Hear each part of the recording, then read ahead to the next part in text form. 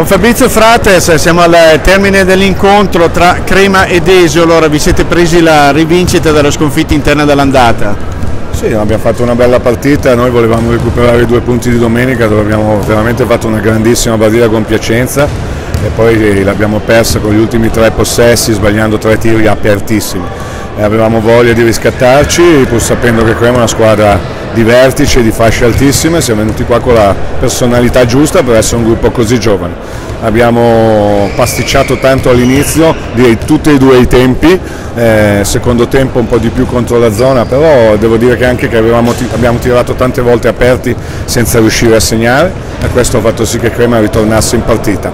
Oh, lì abbiamo mostrato personalità, sono stati bravi ragazzi perché è un gruppo giovanissimo, in un momento così difficile, dopo aver perso 10 punti di vantaggio, poteva crollare il mondo addosso, invece ci siamo messi lì, abbiamo reagito, abbiamo fatto le nostre cose, credo che ci siamo meritati questi due punti che per la nostra classifica sono no, oro, platino. Una stagione che può cambiare di prospettive, 0 su 5 le prime 5 partite, adesso una squadra che è ai margini della zona playoff.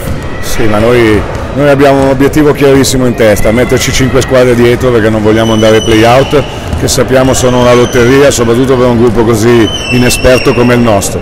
E abbiamo fatto un inizio terribile perché non ci conoscevamo, perché tantissimi ragazzi sono esordienti in questa categoria.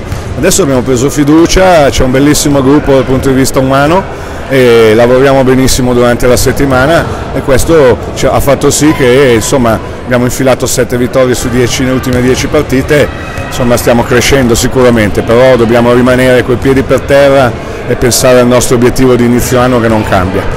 Grazie. Grazie.